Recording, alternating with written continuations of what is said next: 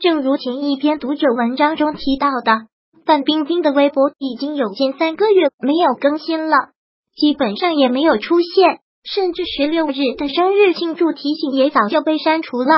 而她的未婚夫李晨一大早就五次在线和李显，什么也没说，这让每个人都觉得他们在隐瞒什么。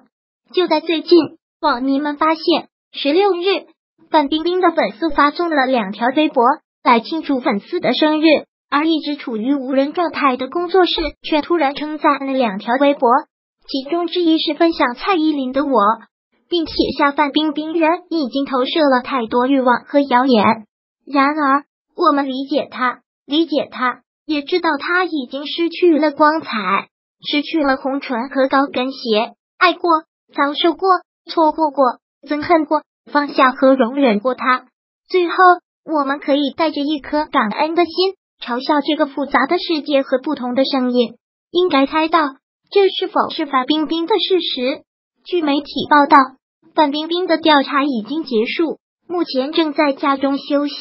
由于官方警告，她不允许向外界发布任何消息，所以她会如此安静。现在她正在等待最终的调查结果。现在说是否返回还为时过早。但可以肯定的是，范冰冰现在是安全的。